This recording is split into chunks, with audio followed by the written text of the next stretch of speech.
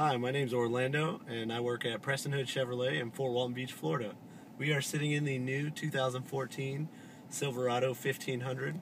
It is four-wheel drive, and today we're going to show you how to turn on four-wheel drive, how easy it is.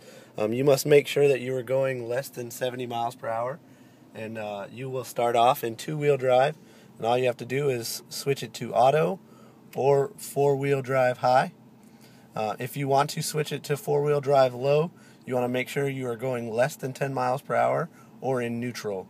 Um, it is suggested that you come to a complete stop, put the truck in neutral to shift it to four wheel drive low.